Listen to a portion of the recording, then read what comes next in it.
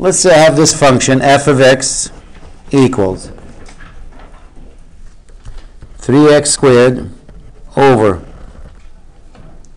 x squared plus 1. And I can use the first derivative test, the second derivative. T- Actually, you know what? I'll go through it quickly. And I can use my graphing calculator to cheat. What's my first derivative? My first derivative for that, quit here, F9, where is it? Uh, F1, 8 clear, okay. Let me find the first derivative, and I'm not gonna 3x squared divided by x squared plus 1 with respect to x. Take the derivative with respect to x. And the derivative of that, if you do the math and you simplify it, 6x over x squared plus 1 squared. Now leave a space there. If I do the second derivative, excuse me, the second derivative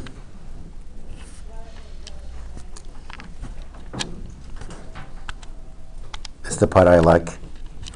And quickly there, it's negative 18 x squared minus 1 third over x squared plus 1 to the third power. So I'm giving you the derivative completely simplified and everything.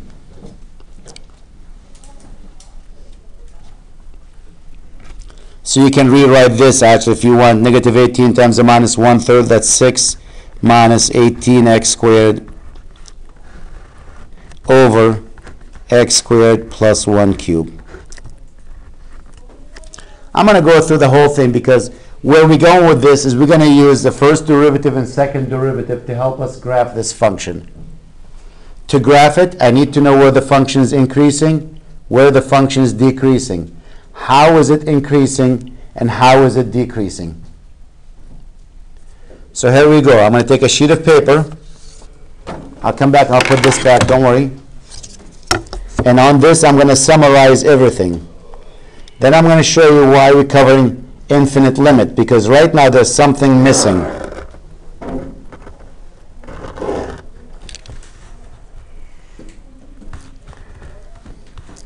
I'm going to use, here we go. This is for the first derivative, and this is for the second derivative.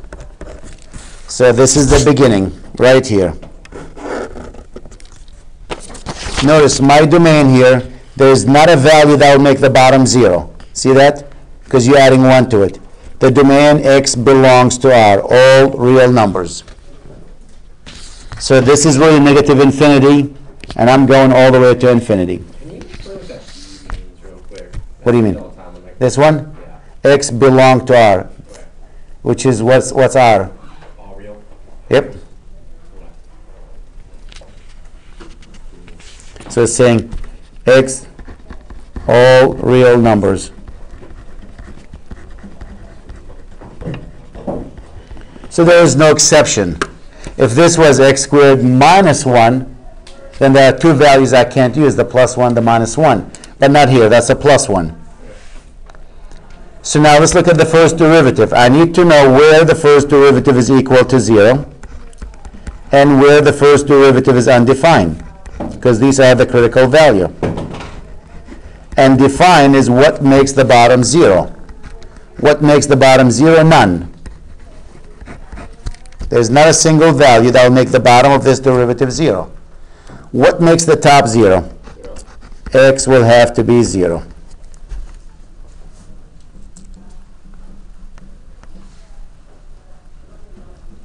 So I'm going to go to the first derivative, and there's only one critical value, that's the 0. That's your possible min-max. Remember that? If you're going to have a min or a max, it's going to be at this point, possible I didn't say definite, possible min-max.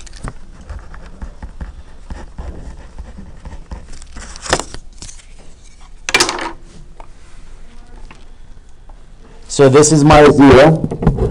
And I'll find the y value. When x is zero, let me plug it in.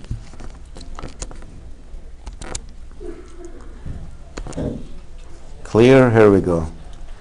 Uh, 3x squared divided by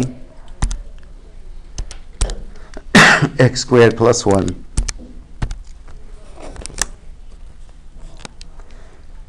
So when x is 0, the y value is 0. I plugged into the original function, not the derivative.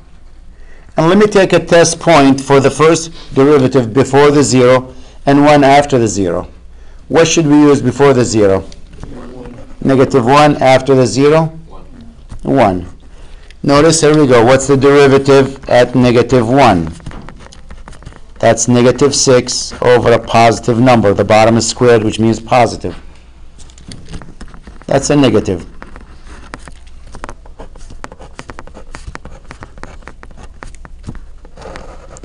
Oh, do it backward.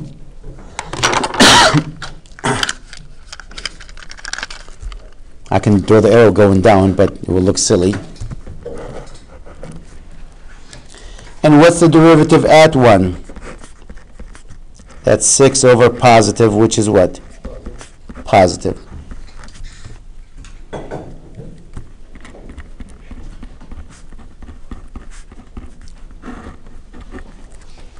So that's your min point. 0, 0 is your min point. Decreasing, then increasing. Bless you. Let's do the second derivative. The second derivative now, I got the second derivative. Where is the second derivative equal to 0? Well, it's equal to 0 when x squared equals 1 third, which means x equals plus or minus 1 over the square root of 3.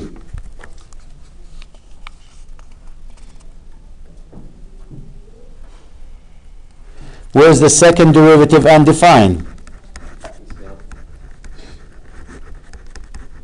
None.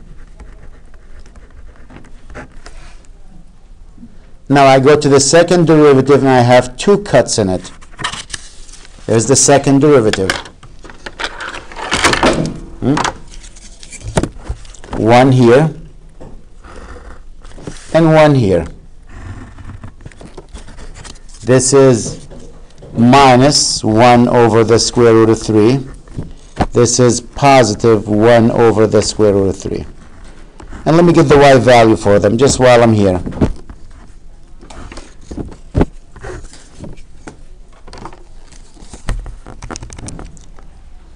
Negative 1 divided by the square root of 3. That's 0.75.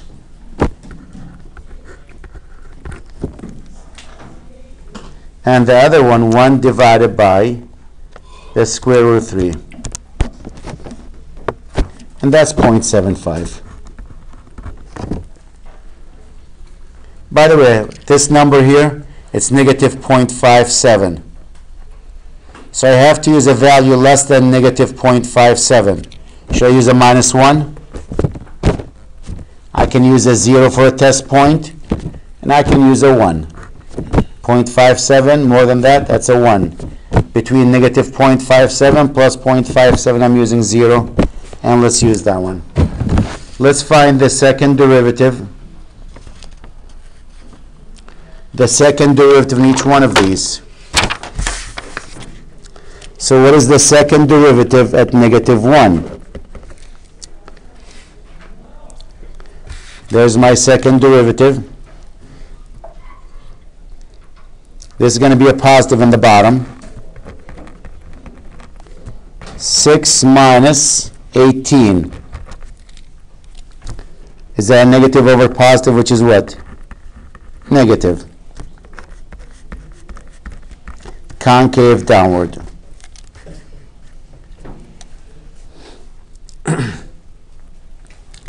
f prime of 0. 6 over positive, which is what? Positive.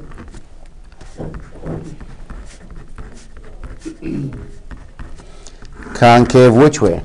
Upward.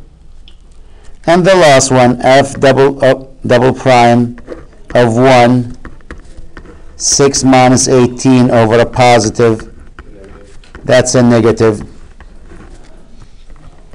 Concave which way? Downward. So guess what? I have everything I need to know. This is an inflection point.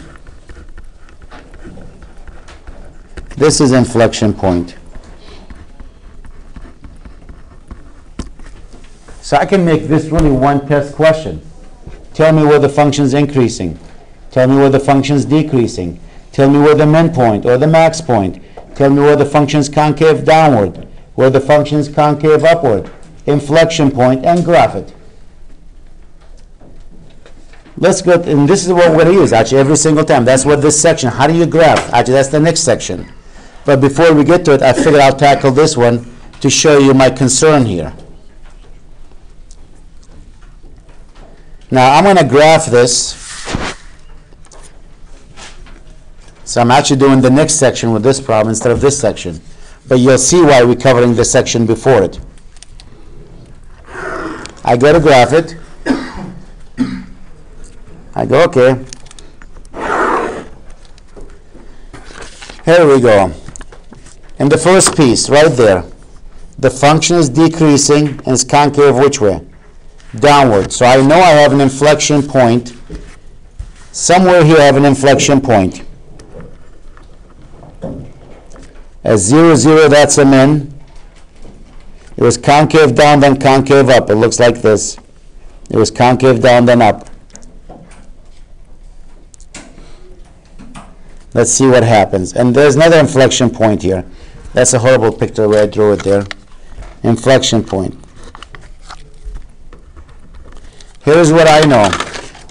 Before this point, the function is what? Decreasing concave which way? Downward. Mm. Decreasing concave downward. Looks like this. And from this point to this point, what's going on? It's decreasing, but which way? Upward.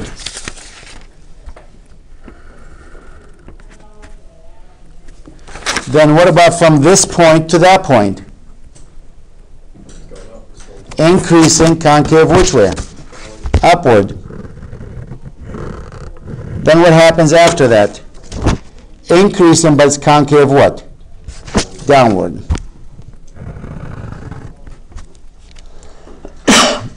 And my next question is, how high does it go now?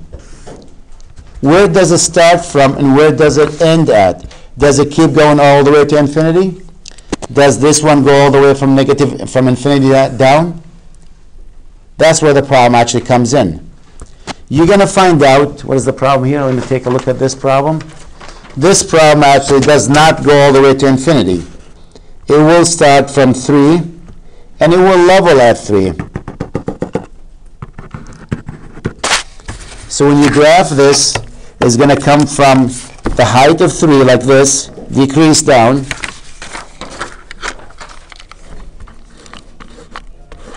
And it's going to level at 3. It will never go above that. How did I know it's 3? That's actually what this section is going to show us how to find where the function starts from and where the function ends at. Because that gives us this line, which is known as what? Horizontal asymptote.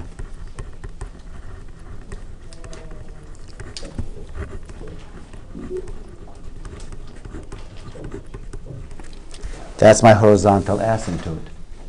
Where the, does the function start from and where does it end at? So that's really why we're looking at that section, the limit as x approaches negative infinity and the limit as x approaches infinity. Where are we starting from and where are we ending at? If it's the same number, we have a horizontal asymptote. If there are different numbers, we don't have one. Might be a slant asymptote. So when I start writing limit at infinity, I'm going, didn't we cover that before? And I wasn't thinking about this. Then I said, oh, I know why we're covering this here again. Because I know we covered the limit at infinity. Because that tells us where the function is going to start from. At x approaches negative infinity. At x approaches infinity, that will tell us where the function is going to end at. So let's look at the limit at infinity. In case you forgot there, limit at infinity. So you want to know where the function starts from? You take the limit of the function as x approaches negative infinity. That's the one we just graphed. And I said to you, it's going to start from 3, it's going to end at 3. Well, how did I figure that out? If you remember the process for the limit at infinity, we do what? We divide by x to the highest power. And what is our highest power of x here? Isn't that x squared?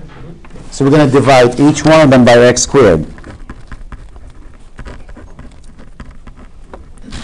So that would be 3x squared over x squared over x squared over x squared plus 1 over x squared.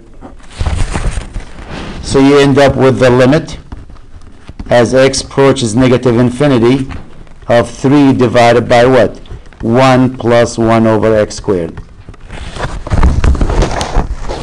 Now, any term that has x in the bottom, or x squared, or x cubed, will go to 0, because that's an infinite. 1 over infinity is tiny. So this will go to 0, and you end up 3 over 1, which is what? 3. Wait, explain why you crossed it out again? Because x goes to infinity. Okay. So what is 1, di- it's a negative infinity. Okay, what's 1 divided by negative a million? Point ze- negative point zero zero zero zero zero zero zero because now a million squared so that number becomes negative point zero zero eleven zeros and one at the end and that's a zero that's why I wouldn't count that and where does it end at you take the limit as x approaches infinity and it's the same process we divide by x to the highest power so when you divide every one of them by x squared, you end up with 3 over 1 plus 1 over x squared. And again, this will go to 0, and you end up with 3 over 1, which is 3. This number matches that number, your horizontal asymptote.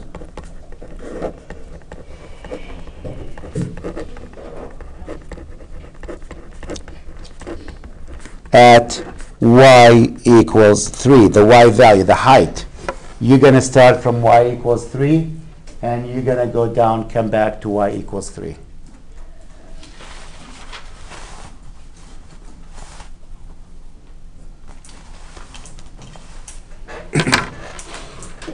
I. I thought I put the wrong card in this one, the wedding pictures. Like, oh no. because I brought it to copy it on my machine. So that's the whole idea of looking at horizontal asymptote. They tell us where the function starts from and where the function ends at. Now, so we're going to practice the limit at infinity quickly, just to make sure you get that part. But that's the reason for it. Let me take a few more examples.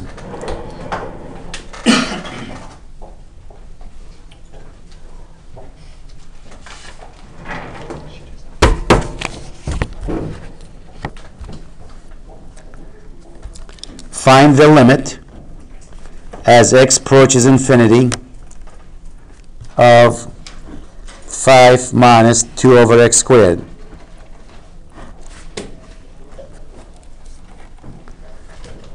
Remember, any term that has x in the bottom, x squared, x cubed is going to go to where? To 0 when x approaches infinity. So this will go to 0. The 5 is always 5, regardless what happens. 5 minus the 0, which is what? 5.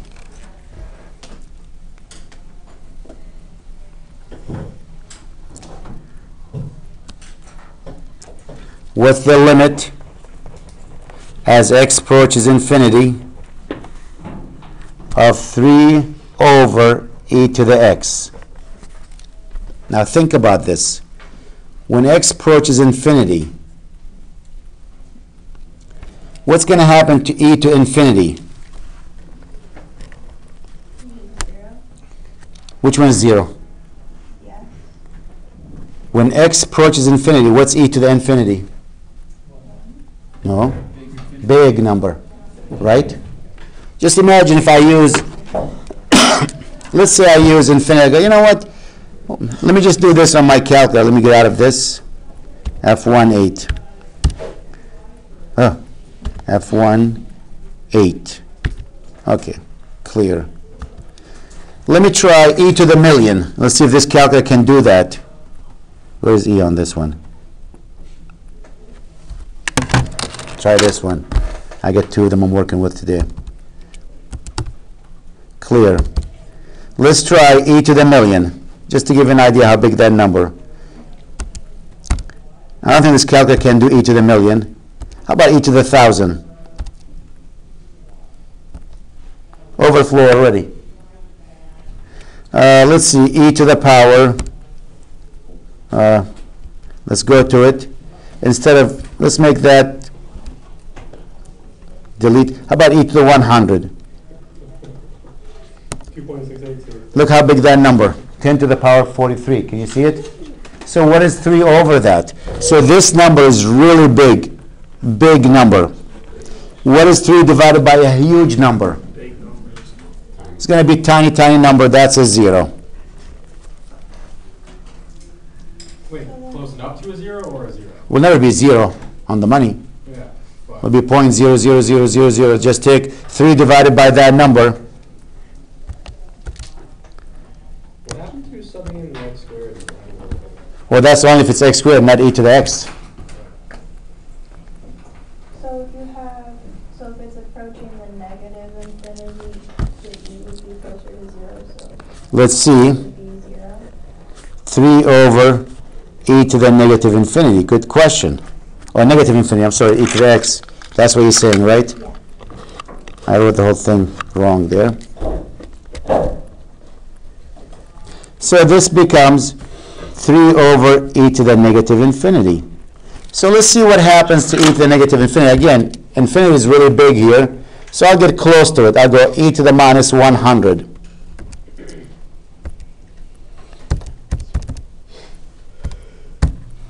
And what's that number? So I get 3 over a small number. See that? Can you see that number? 10 to the minus 44.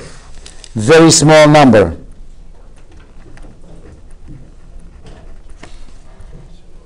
So when you do 3 over that number, what will happen?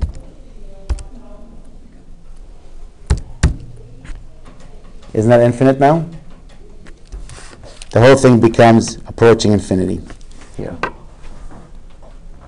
So when this is a negative number, or e to the negative infinity, that becomes a very small number. I use e to the minus 100 as infinity, and I came up with 3.72 10 to the minus 44. 3 over that number becomes the power of 43. That's a huge number. So that means if that was the case, your function is going to start from infinity when you graph it way up there, and God knows what's going to happen after that. You know?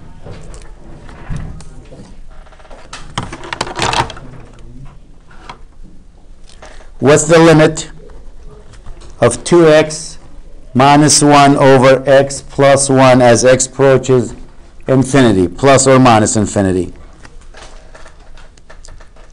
Again, this is straightforward. You divide by x to the highest power. What is the highest power of x? It's x, right? So what's 2x over x? 2 minus 1 over x over 1 plus 1 over x. As x becomes a huge number, what is 1 over a big number? 0. What's 1 over a big number? 0. So you end up with what? 2 over 1, which is 2.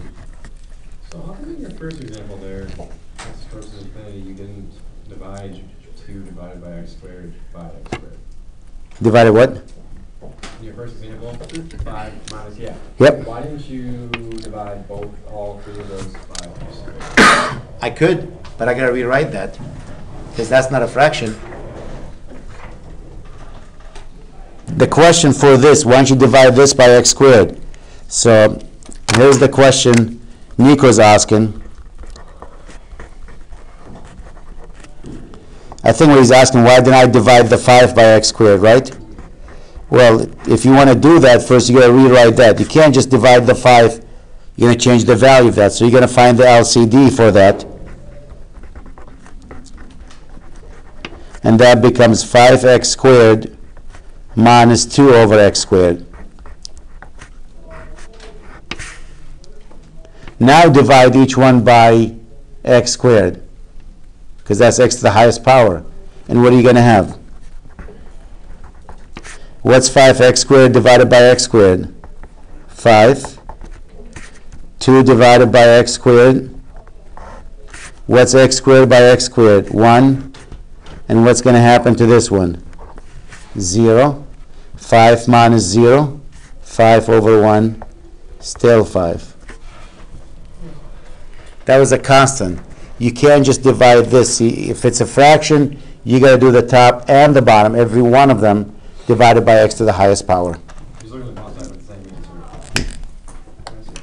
Why can't you take the coefficient of the highest? Ah, And because everything before that just correct? doesn't matter. Well, I don't wanna do that till I figure I'd do one more example, but you saw that already. And you spoiled it now. Let me try one more example, hopefully nobody heard you.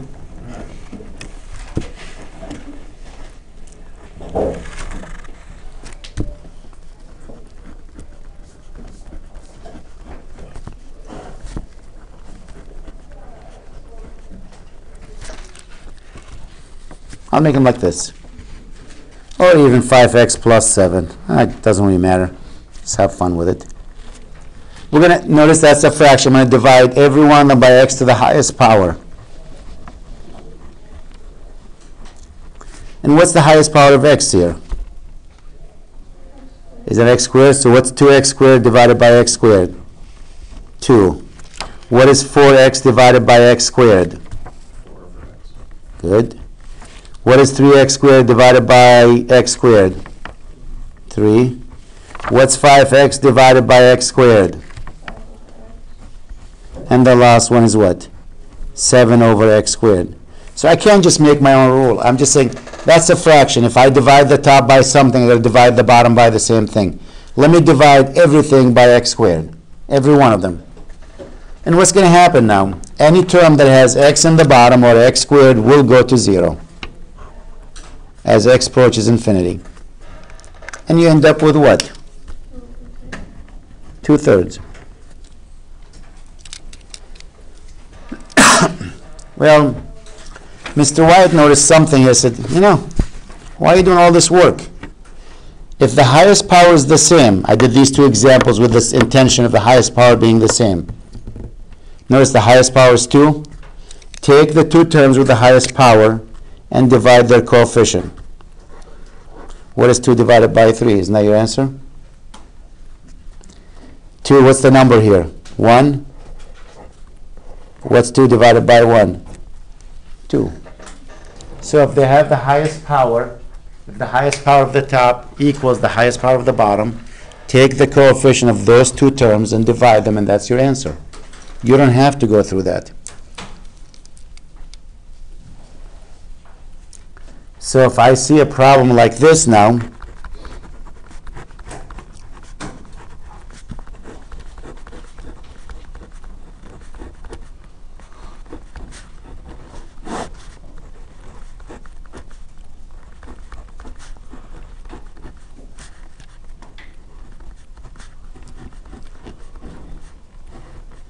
I don't have to spend time doing that. I notice the highest power of the top and the bottom is equal. X to what power? 6. I'll just take the coefficient of these two. 7 over what? Negative 9.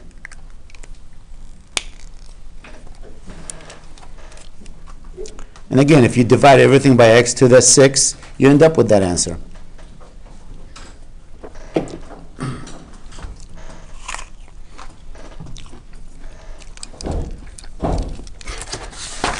Okay.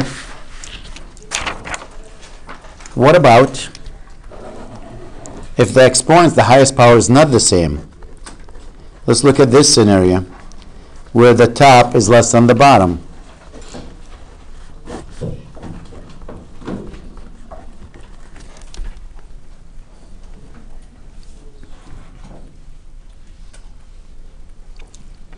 What's the highest power of x?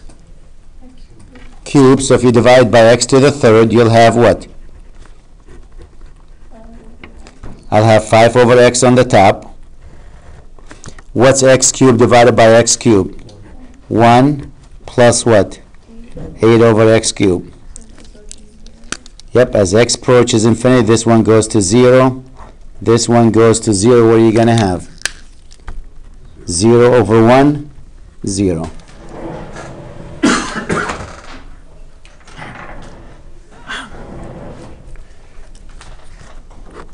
What's the limit? As x approaches negative infinity, doesn't matter if it's positive or negative infinity. 7x to the 6 over x to the 8th minus 9x to the 6 plus 4.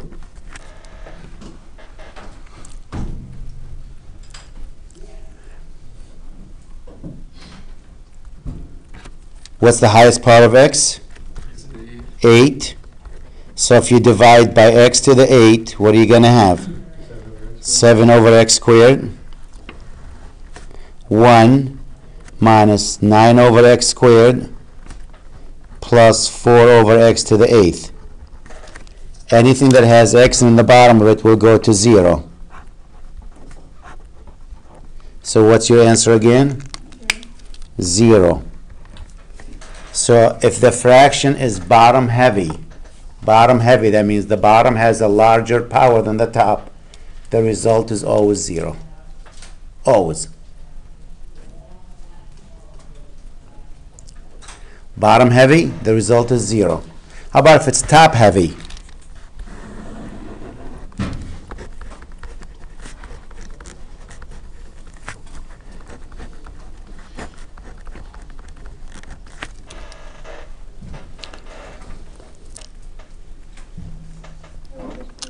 Again, divide by x squared.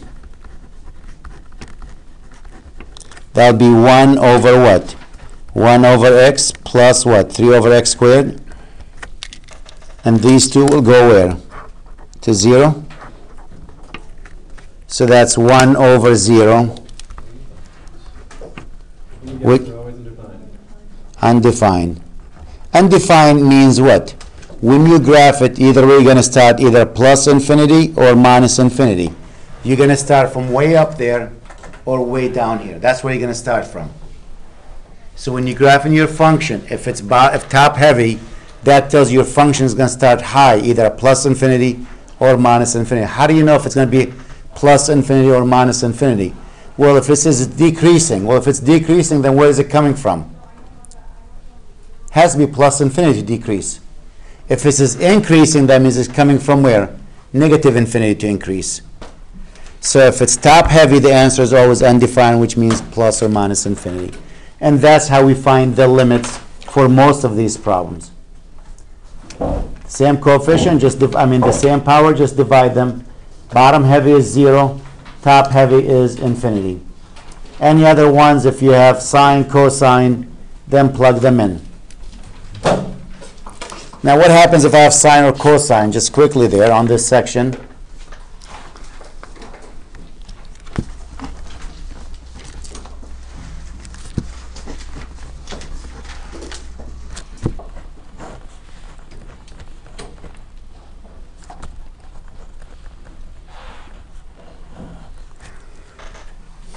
You can't use top heavy, bottom heavy. That's only for a fraction, plain straightforward, polynomial, divided by a polynomial.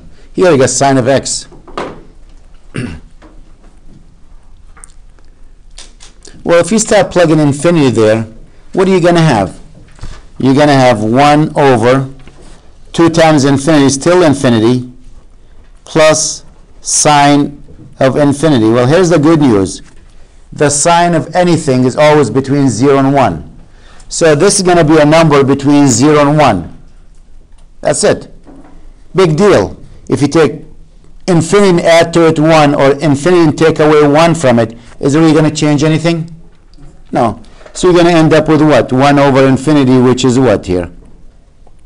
Zero. 0. 1 over a big number, that's a small number. That's a 0. That's how you'll do these problems.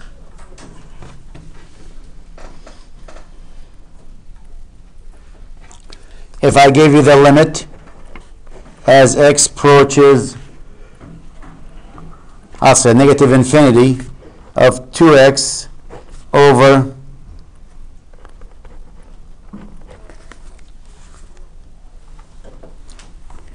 two x over sine of x. Well, that's hard actually to tell to answer, to be honest with you.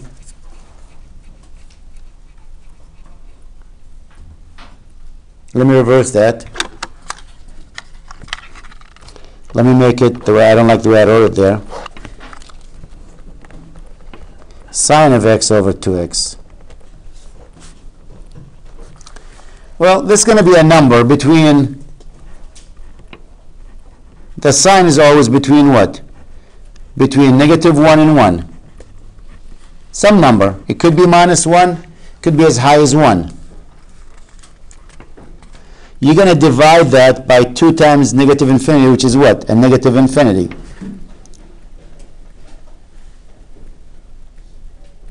Just think about it. Let's say the worst case scenario. This is a minus 1. What's minus 1 over negative infinity? And the other case, what's 1 over negative infinity?